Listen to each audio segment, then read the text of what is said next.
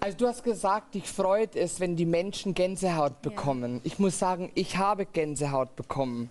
Ich habe Gänsehaut bekommen, weil ich habe so was Schreckliches schon lange nicht mehr gehört. Es war kein Ausdruck, es war kein Gefühl. Du standst da wie ein Storch, hast dich am Mikrofon äh, festgehalten wie am Pippi deines Freundes. Da muss ich ganz ehrlich sagen, ich glaube, in einem Nonnenkloster würde ich mehr unterhalten werden als wie bei dir. Tja. Vielleicht stört der Pierre dann vielleicht also, positiv Also, Meinung. also bei diesem Lied schmelzt sich sowieso egal, wer es singt. Es hat die das aber nicht so schlecht gemacht. Sie ist ja nicht hier, um ein Weltstar zu werden.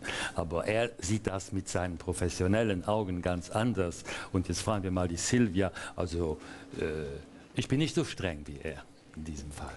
Okay. Natascha anatmen ausatmen dat geheiert dat so also all Kritik as gut Ja. immer positiv opholen an der der méi selbst machen.